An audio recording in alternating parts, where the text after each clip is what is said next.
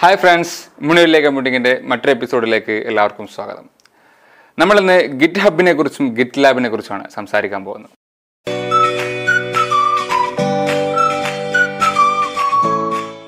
Tech ന്യൂസുകളിലൊക്കെ നമ്മൾ കണ്ടിട്ടുണ്ടായിരിക്കും git ഹബിനെ Microsoft വാങ്ങുന്നു എന്നുള്ള വാർത്ത. കുറച്ച് വലിയ കമ്പനികൾ പ്രശസ്തമായിട്ടുള്ള കമ്പനികളെ വാങ്ങുന്ന ഒരുപാട് വാർത്തകൾ നമ്മൾ ഈയിടെ കേട്ടിട്ടുണ്ട്. ഉദാഹരണത്തിന് ഫേസ്ബുക്ക് വാട്സപ്പിനെ വാങ്ങിയത് തുടങ്ങിയിട്ടുള്ള ഒരുപാട് കാര്യങ്ങൾ. അപ്പൊ അത്തരത്തിലാണ് മൈക്രോസോഫ്റ്റ് എന്ന് പറയുന്ന ഒരു സോഫ്റ്റ്വെയർ ഭീമൻ ഗിറ്റ് ഹബ് എന്ന് പറയുന്ന ഒരു സോഫ്റ്റ്വെയർ റെപ്പോസിറ്ററിയെ ഒന്നടങ്കം വാങ്ങുന്ന ഒരവസ്ഥയാണ് എത്തിയിട്ടുള്ളത്. അപ്പോൾ ഇത് കേൾക്കുന്ന പലർക്കും എന്താണ് ഗിറ്റ് ഹബ് എന്നോ എന്താണ് ഗിറ്റ് എന്നോ പരിചയമുണ്ടാവാൻ സാധ്യതയില്ല. ഒരുപാട് പേര് ചോദിക്കുകയുണ്ടായി എന്താണ് ഗിറ്റ് ഹബ് എന്താണ് അത് ഉദ്ദേശിക്കുന്നത് എന്താണ് ഗിറ്റ് എന്നുള്ളത്.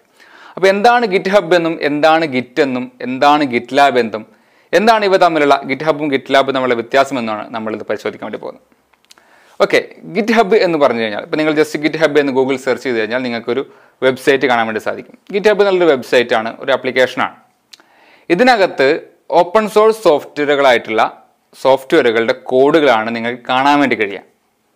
നോട്ട് ദി പോയിന്റ് നിങ്ങൾക്ക് കാണാൻ കഴിയുന്നത് ഓപ്പൺ സോഫ്റ്റ്വെയറിന്റെ കോഡുകളായിരിക്കും. ഗിറ്റ് ഹബ് ഉപയോഗിക്കുന്നത് ഓപ്പൺ സോഫ്റ്റ്വെയർ ആയിട്ടുള്ള സ്വതന്ത്ര സോഫ്റ്റ്വെയർ ആയിട്ടുള്ള സോഫ്റ്റ്വെയറുകളുടെ കോഡുകൾ പബ്ലിഷ് ചെയ്തൊരിടം എന്നുള്ള രീതിയിലാണ് പ്രധാനമായിട്ടും അറിയപ്പെടുന്നത്. നമുക്ക് അത് സെർച്ച് ചെയ്ത് കഴിഞ്ഞാൽ ഒരുപാട് അതിൽ നിലവിലുള്ള ഒരുപാട് സോഫ്റ്റ്വെയറുകളുടെ കോഡുകൾ നമുക്കവിടെ കാണാൻ വേണ്ടി കഴിയും. ആ കോഡ് നമ്മുടെ ആവശ്യത്തിന് വേണ്ടി ഉപയോഗിക്കാനും നമുക്കതിനെ ക്ലോൺ ചെയ്യുക എന്ന് പറയും. അല്ലെങ്കിൽ നമുക്കതിനെ ഫോർക്ക് ചെയ്ത് നമുക്കതിൽ മാറ്റം വരുത്തി തിരിച്ചു മാറ്റാൻ കഴിയും. അതിനുള്ളൊരു പ്ലാറ്റ്ഫോമാണ് ഗിറ്റ് ഹബ് എന്നത്. ആക്ച്വലി ഗിറ്റ് എന്ന് പറയുന്ന ഒരു സംവിധാനം പ്രവർത്തിക്കുന്ന ഒരു സോഫ്റ്റ്വെയർ ആണ് ഗിറ്റ് ഹബ് എന്ന് പറയുന്നത്. അതുപോലെ തന്നെ മറ്റൊരു സോഫ്റ്റ്വെയർ ആണ് ഗിറ്റ് ലാബ് എന്നുള്ളത്. രണ്ടും രണ്ട് കമ്പനികളാണെന്ന് മാത്രം. നമ്മൾ സോഷ്യൽ മീഡിയയിൽ ഫേസ്ബുക്ക് ട്വിറ്റർ എന്നൊക്കെ പറയുന്ന പോലെ ഗിറ്റ് പ്രവർത്തിക്കുന്ന ഗിറ്റ് പ്രവർത്തിക്കാൻ ഉപയോഗിക്കുന്ന രണ്ട് കമ്പനികളാണ് ഗിറ്റ് ഹബും ഗിറ്റ് ലാബ് അപ്പോൾ നമുക്ക് എന്താണ് ഗിറ്റ് എന്ന് പരിശോധിച്ച് നോക്കാം. സോഫ്റ്റ്വെയർ എന്ന് പറഞ്ഞു കഴിഞ്ഞാൽ എന്താണ്? കോഡ് ആണെന്ന് എല്ലാവർക്കും അറിയാം. ഈ കോഡ് ചെയ്യുന്നത് ഒരുപാട് പേര് ഒരുമിച്ചിരുന്നു. അപ്പോൾ ഒരു വലിയൊരു വലിയൊരു സോഫ്റ്റ്വെയറിന്റെ കോഡ് ഒരിക്കലും ഒരാൾ ഒറ്റയ്ക്ക് ഇരുന്നല്ല ചെയ്യുന്നത്. ഒരു സോഫ്റ്റ്വെയറിന്റെ ഓരോ ഭാഗങ്ങളും ഇപ്പോൾ ഉദാഹരണത്തിന് വെബ്സൈറ്റ് ഒക്കെ ആണെങ്കിൽ ഫ്രണ്ട് എൻഡ് ബാക്ക് എൻഡ് തുടങ്ങിയിട്ടുള്ള ഓരോ ഭാഗങ്ങൾ ഓരോ ഭാഗങ്ങളാക്കി തിരിച്ചു വെച്ചിരുന്നത് മൊഡ്യൂൾ എന്നാണ് പറയാം. അപ്പോൾ ഈ ഓരോ മൊഡ്യൂളിന് ചുമതല ഓരോ ആളുകൾക്കായിരിക്കും ഉണ്ടാവുക. അപ്പോൾ അവരെ അവരെ ഏൽപ്പിച്ച പണി മാത്രം ചെയ്താൽ മതി. ഇപ്പോൾ നമ്മൾ റിയൽ ലൈഫ് എക്സാമ്പിൾ നോക്കുകയാണെങ്കിൽ ഇപ്പോൾ ഒരു ജീൻസ് ഉണ്ടാക്കുകയാണെങ്കിൽ ബട്ടൺസ് ഉണ്ടാക്കുന്ന പണി ഒരാൾ അത് തുന്നുന്ന പണി ഒരാൾ അത് അത് എല്ലാം കൂടി അസംബിൾ ചെയ്യുന്ന ഒരാൾ സിബ് ഉണ്ടാക്കുന്ന ഒരാൾ അങ്ങനെ പല തരത്തിലുള്ള പണികൾ പല പല ആളുകളായിട്ട് ചെയ്ത് അവസാനം അത് ഒന്നിപ്പിക്കുകയാണ് ചെയ്യാം. എന്ന പോലെ തന്നെ ഒരു മുഴുവൻ സോഫ്റ്റ്വെയറിന്റെ പല ഭാഗങ്ങൾ പല ആളുകളാണ് ചെയ്യുന്നത്. ഇങ്ങനെ പല ആളുകൾ ചെയ്യുമ്പോൾ ഉണ്ടാകുന്ന ഒരു പ്രശ്നം എന്തായിരിക്കാം? അതിനെ മുഴുവൻ കൃത്യമായിട്ട് കൺസോൾട്ടേറ്റ് ചെയ്യണം. എങ്കിൽ മാത്രമേ അത് വർക്ക് ചെയ്യുള്ളൂ. അല്ലാണ്ട് പല രീതിയിലായി കഴിഞ്ഞാൽ ബുദ്ധിമുട്ടാവും. അല്ലെങ്കിൽ ഒരു ഒരു കമ്പ്യൂട്ടറിലാണ് ചെയ്യുന്നതെങ്കിൽ ഒരാൾ ചെയ്തിട്ട് മറ്റാൾ ചെയ്യാന്ന് പറഞ്ഞാൽ അത് ബുദ്ധിമുട്ടാവും. അപ്പോൾ എല്ലാവരും അവരവരുടെ കമ്പ്യൂട്ടറിലാണ് ചെയ്യുന്നത്. പക്ഷേ ഇതിനെ കൃത്യമായിട്ട് യോജിപ്പിക്കുകയും വേണം. അപ്പോൾ അതിനാണ് പ്രധാനമായിട്ടും ഗിറ്റ് ഉപയോഗിക്കുന്നത്. ഗിറ്റ് എന്നത് വെർഷൻ കൺട്രോൾ സിസ്റ്റം എന്നാണ് അറിയപ്പെടുന്നത്. അതായത് നമുക്കറിയാം നമ്മൾ ഓരോ സോഫ്റ്റ്വെയർ ഓരോ വെർഷൻസ് ഉണ്ടാവും. One one point two two three എന്ന് നമ്മൾ പല വെർഷൻസും കാണാറുണ്ട്. അപ്പൊ ഈ വെർഷനുകൾ എന്ന് വെച്ചാൽ ഒരു കോഡിൽ നിന്നും അടുത്ത ഒരു വെർഷനിൽ നിന്ന് അടുത്ത വെർഷനിലേക്ക് മാറുമ്പോൾ ഒരുപാട് കോഡ് അതിൽ എക്സ്ട്രാ വരും അല്ലെങ്കിൽ ചിലത് എടുത്ത് കളയൊക്കെ ചെയ്യും. അപ്പൊ അങ്ങനെ വരുന്ന സമയത്ത് രണ്ട് നമ്മൾ മാറ്റം ഉണ്ടാവും. ഈ മാറ്റം നമുക്ക് തിരിച്ചറിയപ്പെടണം. അതാണ് വെർഷൻ കൺട്രോളിംഗ് കൊണ്ട് ഉദ്ദേശിക്കുന്നത്. അതുപോലെ തന്നെ ഒരുപാട് പേർ ഒരുമിച്ചിരുന്ന് കോഡ് ചെയ്യുന്ന കാര്യം പറയുന്നത്. അപ്പോൾ ഒരുപാട് പേർ ഒരുമിച്ചിരുന്ന് ഇപ്പോൾ ഞാൻ ഇന്ത്യയിൽ ഇരുന്ന് കോഡ് ചെയ്യുന്നു. എന്റെ ഒപ്പം വർക്ക് ചെയ്യുന്ന ആൾ അമേരിക്കയിൽ ഇരുന്നാണ് കോഡ് ചെയ്യുന്നതെങ്കിൽ അതിനെല്ലാം ഒരുമിച്ച് കൺസോൾട്ടേറ്റ് ചെയ്യാൻ പറ്റുന്ന ഒരു സംവിധാനമാണ് ഗിറ്റ് എന്ന് പറയുന്നത്. ഒരു പ്രധാനപ്പെട്ട സോഫ്റ്റ്വെയറിന്റെ കോഡിൽ നമ്മൾ വർക്ക് ചെയ്യും. ഞാൻ ഇന്ത്യയിൽ ഏഹ്, ഒപ്പം വർക്ക് ചെയ്യുന്ന ആൾ അമേരിക്കയിലാണ് വർക്ക് ചെയ്യുന്നത് വിചാരിക്കുക. ഞാൻ ഒരു ഭാഗം എഴുതിക്കൊണ്ട് അതിനെ ഗിറ്റ് ഹബിലേക്ക് അല്ലെങ്കിൽ ഗിറ്റ് ലാബിലേക്ക് കയറ്റുന്നു. അവിടെ അപ്പുറത്തിരിക്കുന്ന ആൾ അത് അവിടെ നിന്ന് ഡൗൺലോഡ് ചെയ്തിട്ട് അയാൾ അയാളുടെ കോഡും കൂടി തിരിച്ചങ്ങോട്ട് കയറ്റുന്നു. അങ്ങനെ ഒരുപാട് പേര് ഇരുന്ന് കോഡ് ചെയ്യുന്നത് മുഴുവൻ ഈ ഗിറ്റ് ഹബ് എന്ന് പറയുന്ന ഗിറ്റ് ഹബിലോ ഗിറ്റ് ലാബിലോ ആയിട്ടുള്ള റെപ്പോസിറ്ററി എന്നാണ് പൊതുവെ അറിയപ്പെടുക. അതിനകത്തേക്ക് സ്റ്റോർ ചെയ്യപ്പെടുകയും അതിൽ നിന്നും എല്ലാവർക്കും അപ്ഡേറ്റഡ് ആയിട്ട് ഉപയോഗിക്കാൻ വേണ്ടി കഴിയും. അങ്ങനെ പല ആളുകൾ ഒരുമിച്ച് വർക്ക് ചെയ്യുന്നതിന് സുഗമമാക്കാൻ വേണ്ടി ഉപയോഗിക്കുന്ന ഒരു പ്രധാനപ്പെട്ട ടൂളാണ് ഗിറ്റ് എന്നുള്ളത്. ഇത് മാത്രമല്ല വെർഷൻ കൺട്രോളിംഗ് എന്ന് പറയുന്ന നേരത്തെ പറഞ്ഞ പോലെ ഓരോ വെർഷനും തമ്മിലുള്ള മാറ്റങ്ങൾ തിരിച്ചറിയുന്നത് ഉപയോഗിക്കും. ഇപ്പോൾ ഉദാഹരണത്തിന് ഞാൻ ഇരുന്ന ഒരു കോഡ് എഴുതാമെന്ന് വിചാരിച്ചു. ഞാനൊരു വർക്കിംഗ് കോഡൊക്കെ തയ്യാറാക്കി ഏറെക്കുറെ അത് വർക്കിംഗ് കണ്ടീഷനിലേക്ക് എത്തി. അപ്പോൾ ഓക്കെ ഇത് ഫസ്റ്റ് വെർഷനാണെന്ന് പറഞ്ഞ് ഞാൻ ഇറക്കാൻ തീരുമാനിച്ചു ഞാൻ ഇറക്കി. എന്നിട്ട് ഞാൻ അതിലാ കുറച്ച് മാറ്റങ്ങൾ കൂടി വരുത്തിയേക്കാന്ന് വിചാരിച്ചിട്ട് അത് വേറെ കോപ്പി നിർത്തി വെക്കാണ്ട തന്നെ അതിൽ തന്നെ മാറ്റങ്ങൾ വരുത്തി. അതിൽ തന്നെ മാറ്റങ്ങൾ വരുത്തി മാറി കഴിഞ്ഞു പക്ഷെ അപ്പോൾ ആ മാറ്റങ്ങൾ ചെറുതായിട്ട് പണി വാളി പിന്നീട് വർക്ക് ചെയ്യുന്നില്ലെങ്കിൽ നിങ്ങൾക്ക് പഴയ വെർഷനിലേക്ക് കൺട്രോൾ സെറ്റ് അടിച്ച് പോക്കൊന്നും നടക്കില്ല.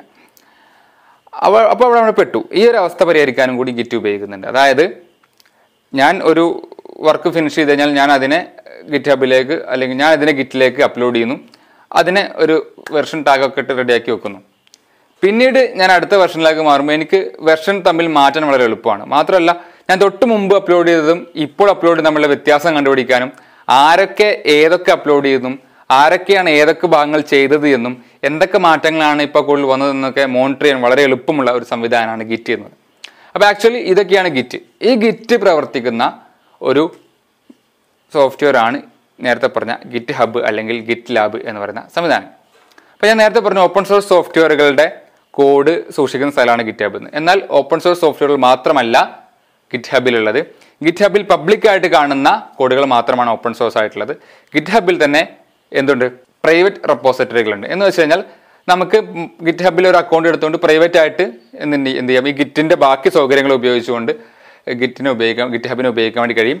അപ്പോൾ ഈ കോഡ് മറ്റുള്ളവരും കാണില്ല. അത് പ്രൈവറ്റ് ആയിട്ട് ഗിറ്റ് ഹബിന്റെ റെപ്പോസിറ്ററിൽ തന്നെ ഇരിക്കുകയും നമുക്ക് ഈ പറഞ്ഞ വെർഷൻ കൺട്രോളിങ്ങും കൊളാബറേറ്റീവ് എഡിറ്റിങ്ങും ഒക്കെ ചെയ്യാൻ വേണ്ടി സാധിക്കുകയും ചെയ്യും.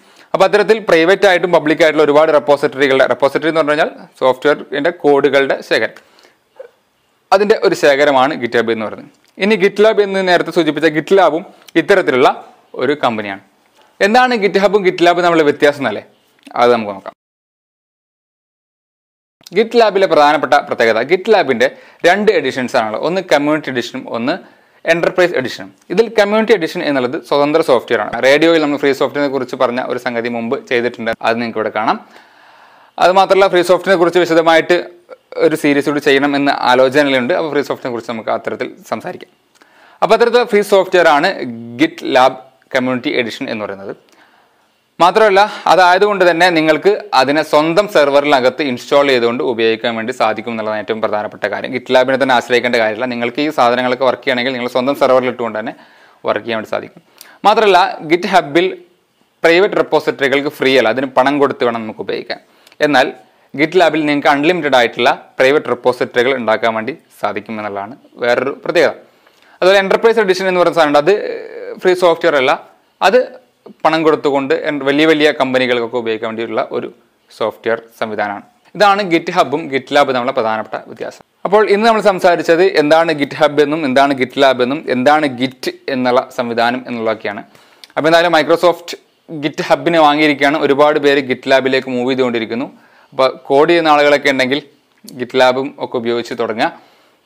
അതുപോലെ തന്നെ ഗിറ്റ് എങ്ങനെ വർക്ക് ചെയ്യാം എന്നതിനെ കുറിച്ചുള്ള ട്യൂട്ടോറിയൽസ് എങ്ങനെ ആവശ്യമുണ്ടെങ്കിൽ നിങ്ങൾ കമന്റ് ചെയ്യുകയോ പേഴ്സണലായിട്ട് പറയുകയോ ചെയ്യുക. കാരണം നമുക്ക് അതിനുള്ള ഓഡിയൻസ് ഉണ്ടെങ്കിൽ മാത്രമേ അത് പറഞ്ഞിട്ട് കാര്യമുള്ളൂ. അപ്പോൾ ഞാൻ ഉദ്ദേശിച്ച് വിചാരിക്കുന്നത് നമ്മളിപ്പോൾ ആകെ ഒരു ആയിരത്തിൽ താഴെ ഓഡിയൻസിലേക്കാണ് ഇപ്പോൾ എത്തിക്കൊണ്ടിരിക്കുന്നത്. അപ്പോൾ അതിനകത്തൊരു പ്രോഗ്രാമിങ്ങുമായി ബന്ധപ്പെട്ട ആളുകൾ കുറവാണ് എന്നാണ് ഞാൻ പ്രതീക്ഷിക്കുന്നത്. എങ്കിലും നിങ്ങൾക്ക് താല്പര്യമുണ്ടെങ്കിൽ നിങ്ങൾ അറിയിക്കുക. T dot me bar Mujib C P O എന്നുള്ള എന്റെ ടെലിഗ്രാം അക്കൗണ്ടിലോ അല്ലെങ്കിൽ ഐ ബി കമ്പ്യൂട്ടിംഗ് എന്ന് പറയുന്ന ടെലിഗ്രാം ഗ്രൂപ്പിലോ നിങ്ങൾക്ക് സംശയങ്ങളുണ്ടെങ്കിലോ എന്തെങ്കിലും പറയാനുണ്ടെങ്കിലോ അഭിപ്രായങ്ങളുണ്ടെങ്കിലോ ഒക്കെ പറയാവുന്നതാണ്. അപ്പോൾ എന്തായാലും മറ്റൊരു വിഷയമായിട്ട് വീണ്ടും കാണുന്നവരെ നന്ദി നമസ്കാരം.